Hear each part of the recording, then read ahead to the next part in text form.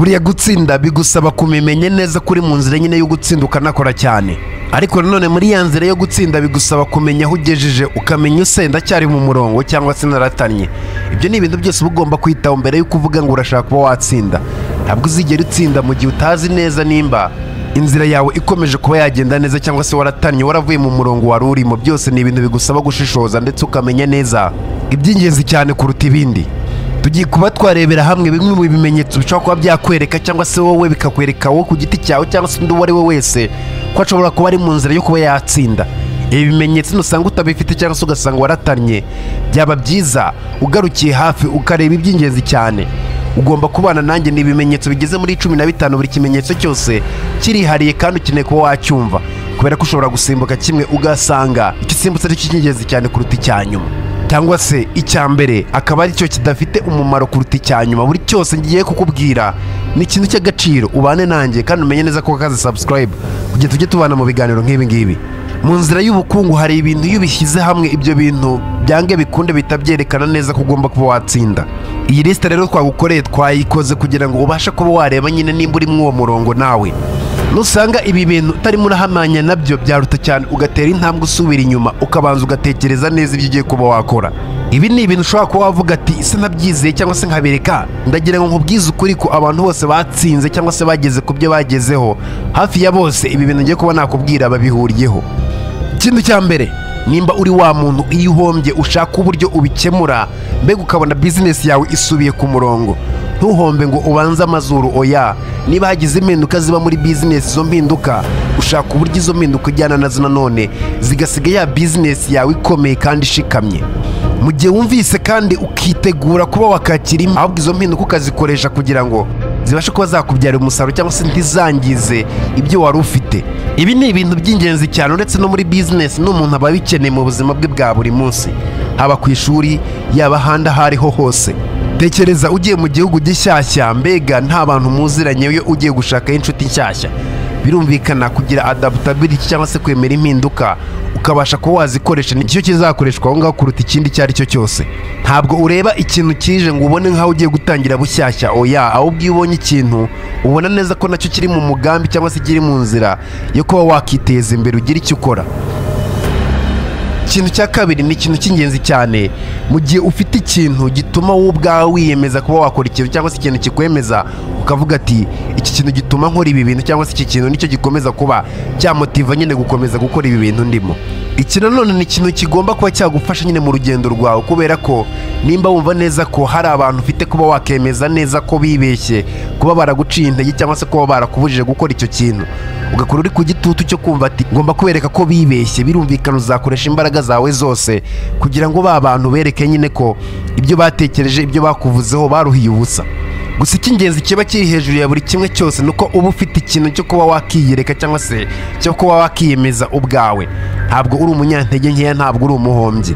Icyo gihe uba uri wa muntu ushaka ibintu byiza nyine ushaka kuba umuntu wisumbuye kubera ko ntabwo uzigira. Ureka ibyo wavunikiye byose ngo bigende mu munsi umwe cyangwa se ucike intege kubera ko icyo kintu cyabaye. Oya uri iteka ryose ufite icyo ushaka kwiyemeza unemeza n'abandi kugira ngo ubuzima bwawe bukomeze bujyemo mbere. Ikintu cya gatatu nimba uri wa muntu ushobora kwimotivetinga cyangwa se ushobora kuhabyuka mu gitondo ukajya gukora nta muntu ukubwirije cyangwa se nta kindi kindi ukaba wimotivetinga nyine. Udakeneye umuntu uza kugusunikiriza kugira ngo ugire ikintu ukora. Wumva neza ko amasaha ageze ukamenya neza ko ugomba kubyuka ugakora ikintu nubwo cyakunaniza ugakomeza ukigerageza. Mbega udakeneye umuntu uza akubwira ati kora iki kora iki? Iki kiri mu bintu bishobora kuba byagarantinga cyangwa se byaguha icyizere cyo gutsinda. Nimba ibintu bituma ukora ibintu ibyo bintu ari wowe nyine ubyiha mbega ari wowe ufite umwuka ugusunikiriza gukora ikintu. Birumvikana nanone nubura abantu uzakomeza ukore cya kintu. Mpaka cya kintu gisakisesinze cyangwa se kibyaye umusaruro. Ba bantu bahora iteka ryose bakeneye ko abandi bantu ari bo baza kuba batuma bakora ibintu cyangwa se bari buze kuba babamotiva birangira abo bantu akenshi cyane batsinzwe cyangwa se bananiwe kuba bakomeza kujyamo mbere. Wakibaza ati ni ukubera iki? Ni ukubera ko nyine bikomeye cyane? Ntabwo byoroshye kuba wabyuka mu gitondo ngo ujye muri jimu buri munsi buri munsi mbere y'uko ujya mu kazi. Ntabwo bikomeye nubwo byoroshye. Byose biragusaba imitekerereze. Numva neza ko bigukomereye biragukomerera ariko nanone niwumva neza ko bigomba kukorohera. Nanone birakorohera. Byose ni ubushake bwawe. Buriya iyo ufite inzozi cyangwa se ufite ikintu ushaka kuba wageraho hari ibintu ushyira ku ruhande. Hari ibitambo bitari bikeya ushyira ku ruhande kugira ngo cya kintu nyine ukigereho.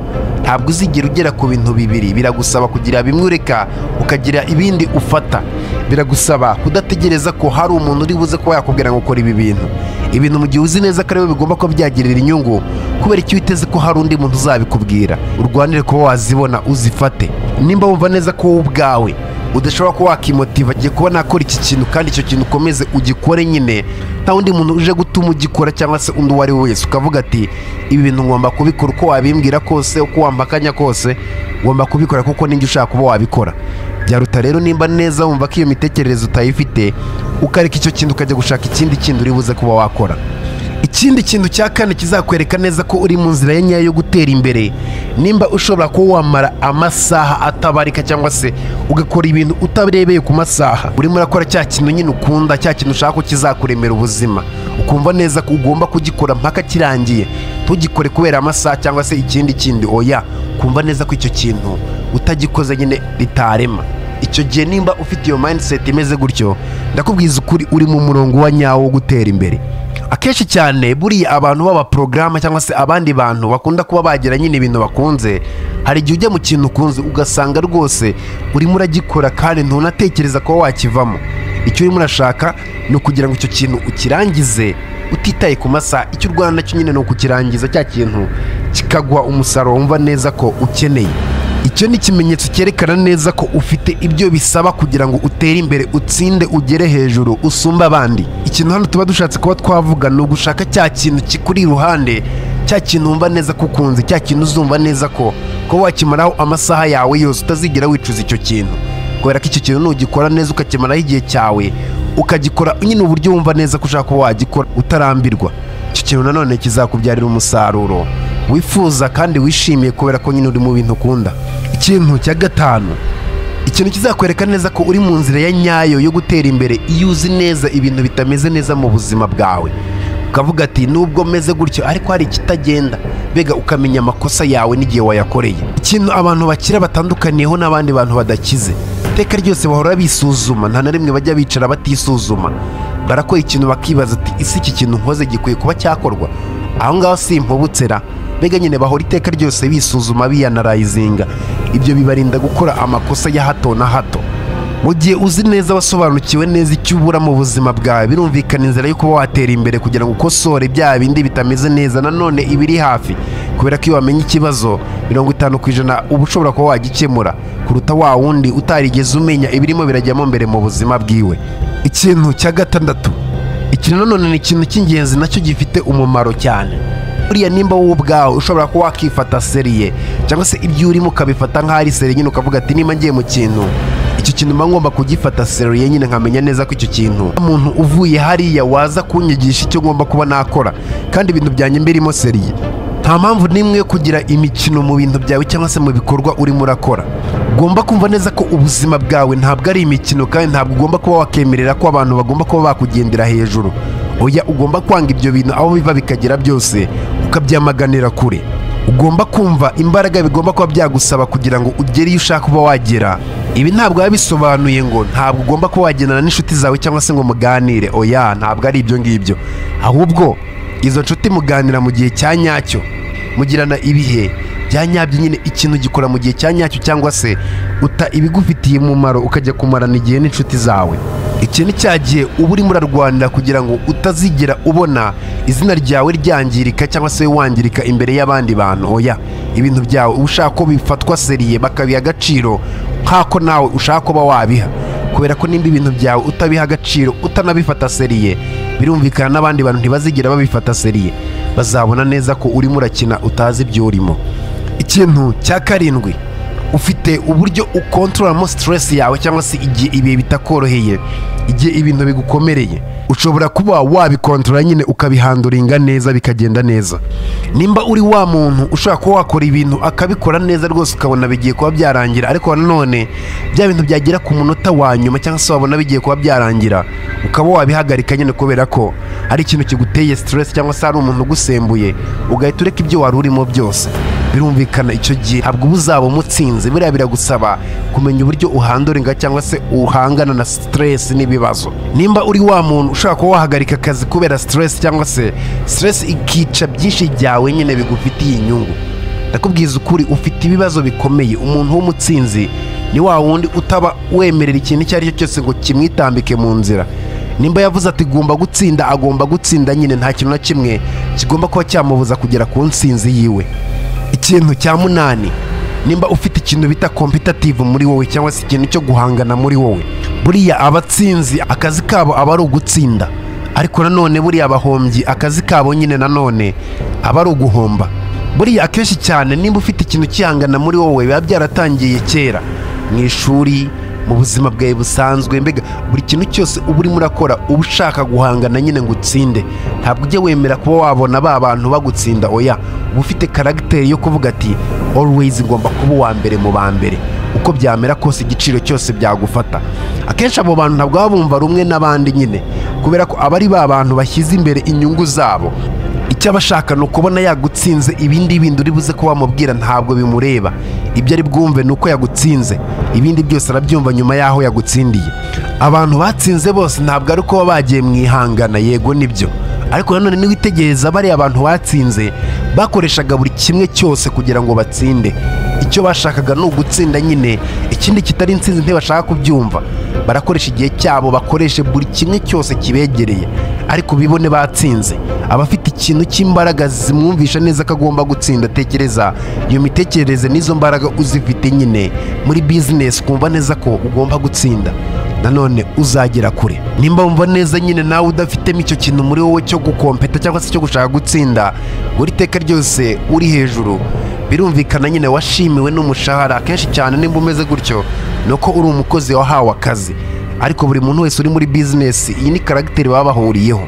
Yo kumva neza ko agomba gukompeta agomba guhora iteka ryose atsinda. Ku giciro icyo ari cyo cyose byamusaba. Ikintu cya cyenda kizakwereka neza ko uri mu nzira ya nyayo yo gutsinda.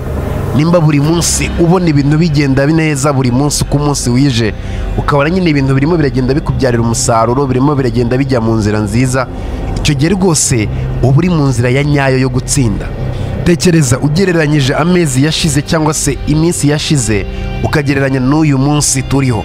Ese koko warakuze wateye imbere cyangwa se ibintu byakomeje kuba ku ruhande rumwe nyine nta kintu na kimwe kigeze cyisumbura byibaze hanyuma ubyisubize. Nimba buri munsi cyangwa se kwezi ubona neza hari ibintu bishyashya urimo uragenda wunguka bwaba ari ubumenyi yaba ari inkamu cyangwa se uburyo bizinesi yawe igenda ikora buri munsi ndakubwiza ukuri nimba bimeze gutya uri mu murongo wa nyawe ukomeze utere imbere ndetse ukomeze ushyiremo imbaraga ntuzigere ucika intege kubera ko bizarangira ubaye umutsinzi nk'uko ubishaka. Buri gihe nimba ubona ibintu byawe bigenda bikubyarira umusaruro ubona utera imbere umunsi ku munsi birumvikana cyane nyine ko uba urimo urasarura ku byo wabibye. Nimba ubona buri munsi ibintu byawe bihora ari bimwe nta kintu gihinduka byaruta cyane ukabanza ukigenzura ukareba neza ko ibintu byose bimeze neza mu buzima. Ugafata ubuzima bwawe seriye kuko nimba uhora ahantu hamwe birumvikana nyine nawe nta kintu gishyashya ushaka ko washyira mu buzima bwawe. Ikintu cya cumi kizakwereka neza ko uri mu nzira ya nyayo y'iterambere. Nimba wowe ubwawe ushobora kuba wabona ibyishimo mu gihe abandi batsinze. Nimba umuntu yatsinze yateye imbere ntube wa muntu ufite ijinyori cyangwa se ngo ujeginywe wumve neza ko wa muntu wakabaye utuma ajya hasi cyangwa se bakamukorera ibintu bibi. Oya nimba yatsinze urishimana nawe kandi wishime nyine wishimiye ko ageze ku bintu byiwe. Nawe ukore cyane. Icyo gihe nimba uri umuntu umeze gutyo birumvikana cyane ko uri umuntu ushaka kuba watera imbere. Akenshi cyane iyo abantu batsinze abantu bakeya nyine wishimira iyo nsinzi yiwe. Impamvu bimera gutya ni uko abantu badatera imbere cyangwa se abantu iteka ryose nyine bahora bari hamwe baba bafite ibitekerezo bifite aho bigarukira. Yumva neza nyine ko nimba umuntu yateye intambwe agatsinda bigiye kuba byamubangamira kubera ko we nyine nta kintu arimo arakora. Nusanga neza iyo umuntu atsinze umwuka mubi kikuzamukamo ukumva uwo muntu wamusubiza hasi cyangwa se hari ikintu kibi wamukorera byaruta cyane ukitekerezaho kubera ko ntabwo yari imitekerereze y'umuntu ushaka kuba watsinda ngo atere imbere? Tekereza wibaze amarangamutima yawe uburyo ameze. Ese iyo umuntu atsinze wiyumva ute biragushimisha cyangwa se birakubabaza?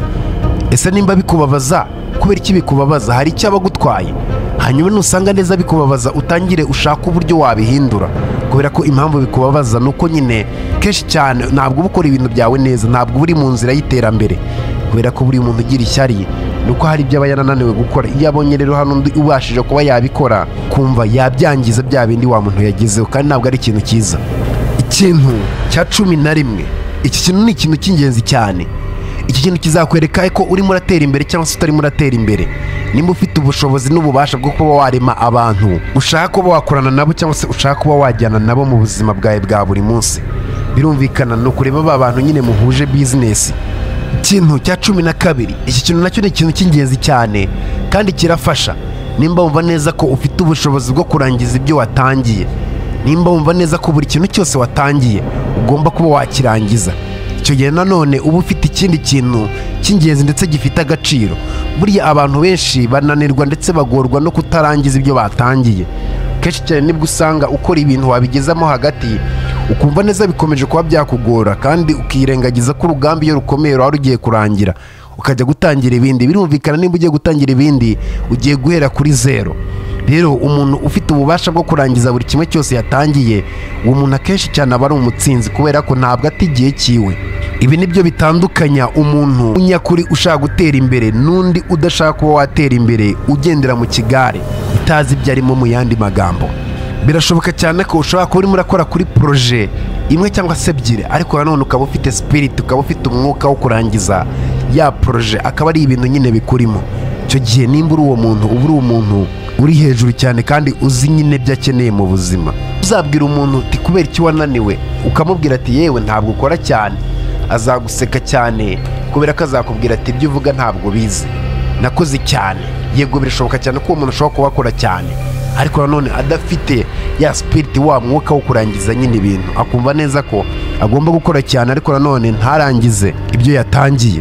Reka twizere ko utari umwe muri abo bantu. Nimba uri umwe muri abo bantu nakubwiza ukuri ko watangira kugira icyo uhindura ukagira icyo ukora amaguru. Aya ngaya bitararenga kubera ko mu gihe wumva neza ko udashaka kuba warangiza ikintu ubicikirizamo hagati. Icyo gihe nanone haba harimo ikintu kitameze neza. Ikintu cya cumi na gatatu. Nimba uri wa muntu uryoherwa no kuba uri kumwe n'abantu batsinze cyangwa se bageze ku nzozi zabo. Buriya ndakubwiza ukuri hari abantu banga abatsinzi cyangwa se abantu nyine bateye imbere b'abakire kubera ko abavuga ati ngo nabiyemeze. Nimba ubanga birumvikana ntabwo uzigera umenya umusaruro cyangwa se icyo ushobora kuba wabigiraho kubera ko nyine uriyemera ko nyine uriyanga wanga abakire. Nta muntu ugomba kwanga abakire. Nimba uzi neza ko uri wa muntu ukunda kubana n'abakire ukaba uri wa muntu uba ugomba kumenya aho abakire bari kandi ugashaka uburyo ugomba kuba uri kumwe nabo kugira ngo hagire ikintu kimwe cyangwa se ikindi wigiraho. Icyo gihe uri mu nzira ya nyayo yo gutsinda kubera ko niba ushaka gutsinda ugomba kugendana n'abatsinzi. Ntabwo wagendana n'abahombyi ngo uzigere uzigere uba umutsinzi. Nimba uri mu bahombyi nawe uri umuhombyi. Reba inshuti zawe ufite. Ese inshuti zawe zikumariye iki? Uretse kwirirwa mwica igihe ubusa mbega urebe imyaka mumaranye urebe nanone icyo byakugejejeho nusanga ntacyo. Izo nshuti byareka cyane ukazireka ukazisezerera ku bw'ibyiza cyangwa se ku bw'ubuzima bwawe bwiza bw'ejo hazaza. Kubera ko urimo uratakaza igihe kitari ngombwa kuba watakaza. Buriya iyo umukire ahora akubona mu maso ye cyangwa se uri inshuti y'abakire birumvikana cyane nujya kuba wamusaba inama ku kintu runaka cyangwa se nareba situwasiyo y'ubuzima bwawe. Ashobora kuba yakubwira ati nyamara ubigenje gutya byagukorera kuko nanjye byarankoreye. Buriya umukire iyo akubwiye ikintu ukagikora nk'uko yakikubwiye nawe aragusapotinga ariko nanone umukene we ntazagusapotinga ahubwo numubwira igitekerezo cyawe. Azaguca intege akumvisha uburyo bidashoboka akumvisha uburyo ugiye kuba wata igihe cyawe. Niyo mpamvu nawe ugomba kugira za nshuti z'abakire za nshuti zizagufasha kubaka ibintu binini ndetse ibintu biri ku rwego rwo hejuru. Nimba uri umunyabwenge mu nshuti zawe cyangwa se mu cyumba urimo ugasanga nawe munyabwenge urimo icyo gihe uzi umenya neza ko uri mu cyumba utakabaye urimo. Igihe wakabaye uri muri icyo cyumba ni igihe wenda urimo urabaha inama ariko nanone ugasanga icyo cyumba ntabwo ari cya cyumba uhoramo. Cyangwa se ukaba uri kumwe n'abantu runaka inshuti runaka uri kuziha inama ariko bitavuze neza ko izo nshuti zawe ari zo iteka ryose muba muri kumwe nyine. Oya ndakubwiza ukuri icyo gihe nta kintu uzabasha kuba wakigezaho. Ikintu cya cumi na kane nimba warashyizeho intego. Nimba ufite intego wagiye wandika ahantu buri hamwe imwe yagerwaho ukayivivura. Indi yagerwaho nanone ukayivivura. Icyo ni ikintu cyerekana neza ko uri mu nzira ya nyayo nyine. Ni ikintu cyerekana neza ko uri umutsinzi. Kubera ko buriya umuntu udafite icyerekezo cyangwa se udafite intego yihaye birumvikana. Azaba arimo arakora nyine ariko akorera mu bintu atazi neza. Ariko nimba waravuze ati nyuma y'uyu mwaka cyangwa se nyuma y'iki gihe runaka ngomba kuba mfite ibi bintu. Birumvikana nawe uri buze kuba wakora ushaka kuba wagera kuri bya bintu nyine ushaka kuba wageraho bitandukanye cyane. Na wa muntu urimo urapfa gukora gusa nta ntego nta ki? Mbega nyine aba arimo arakora kugira ngo abone neza ko birangiye? Ariko se birimo birerekerahe iki ni ikintu ndetse n'ikosa abantu benshi bakora. Uba usanga abantu benshi batandika intego cyangwa se ibyo bashaka kuba bageraho ngo babyandike hasi nyine babikurikize. Oya iri ni ikosa abantu benshi bahuriyeho. Rero nimba nawe wari uri muri abo bantu bakora iryo kosa guhera uno munsi tangire ufate umwanzuro umenye neza ko ugomba kwandika ibyo ushaka ugomba gukora iby'ingenzi kuruta ibindi ugomba kugira intego cyangwa se icyo ushaka kuba wageraho. Bitari ibyo ntabwo bizakugendekera neza. Ikintu cya cumi na gatanu uriga ntabwo ujya urambirwa kuba wakiga. Iteka ryose uba urwanira nyine kugira ikintu kimwe cyangwa se ikindi ugomba kuba wamenya kugira ngo ukomeze nyine witeze imbere. Buriya umuntu utiga biragoye cyane nyine ko azigira abona ikintu gishyashya kubera ko ibishyashya tubona biva mu byo twize ntabwo ibishyashya tubona. Ari ibintu biza gutyo gusa byituyeho. Nimba wize ikintu gishyashya birumvikana uba ubonye ubumenyi bushyashya. Ubwo bumenyi bushyashya ni ubwa purayingi cyangwa se ukabukoresha. Icyo gihe nabwo nyine hari icyo buzakubyarira kinini. Niba ubashije kuba wageze iki kiganiro aha ngaha icyo ni ikimenyetso cyerekana neza ko uri umuntu w'ingenzi unyotewe kuba wakira. Akantu ka nyuma naguha nka bonisi nk'umuntu twabanye nimba uri wa muntu iteka ryose amafaranga yose waba ufite cyangwa se yaba make yaba menshi ukaba wemvesitinga byibuze mu kintu runaka. Ugahora iteka ryose uvuga ati ngomba kwemvesitinga icyo gihe nanone uba uri umutsinzi. Ya cawu cawu mugire imana ndetse mutibagiye kugira n'amafaranga njye mwumva gutegura ndetse nkanakugezaho ni oliver regra. Tubonane mu bindi biganiro.